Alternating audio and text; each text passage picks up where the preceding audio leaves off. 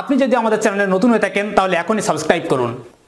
আর সবার আগে আমাদের আপডেটগুলো পেতে পাশের বেল আইকনে ক্লিক করুন। আর এই ভিডিওটি যদি আপনার কাছে ভালো লেগে থাকে, তাহলে এখনই লাইক দিন। হচ্ছে বিশ্বনবী সাল্লাল্লাহু আলাইহি ওয়াসাল্লাম যে বিষয়টি বলেছেন, ঈদের দিনের সুন্নাতের ব্যাপারে জানা দরকার আছে না নাই?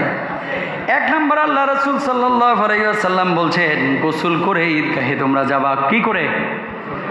গোসল করতে হবে, দুই নম্বরে ভালো পোশাক পরিধান করতে হবে, এটা আল্লাহ রসুলের সুন্নাহ। তিন নম্বর আল্লাহ রসুল সাল্লাল্লাহু আলাইহি ওয়াসাল্লাম বলছেন, নামাজের পূর্বে কিছু মিষ্টি দ্রব্য গ্রহণ করবে। কি? এটা ঈদুল ফিতরে, রোজার ঈদে। ঈদুল আজহায় না, এটা কিসের? ঈদুল ফিতরে। মিষ্টি দ্রব্য, কিছু খাবেন। আল্লাহ নবী কি খেতেন? সেমাই খেতেন। বনফুল মিষ্টি সেমাই। লাচ্চা সেমাই? খিল সেমাই? না।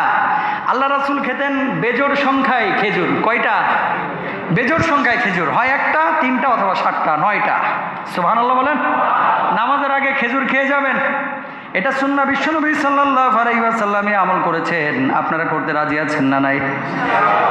আল্লাহ রসুল সাল্লাহ আলাইসাল্লাম মত্তা মালিক, একশো সাতাত্তর নম্বর অংশের এক নম্বর পৃষ্ঠায় এই বিষয়টি উল্লেখ রয়েছে। আল্লাহ রসুল সাল্লাহ আলাইসাল্লাম এই আমলগুলো করেছেন। সুগন্ধি ব্যবহারের কথা আল্লাহ রসুল বলেছেন। হক্কানি আলেমদের ওয়াজ পেতে আমাদের চ্যানেলটি সাবস্ক্রাইব করে বেল বাজিয়ে দিন।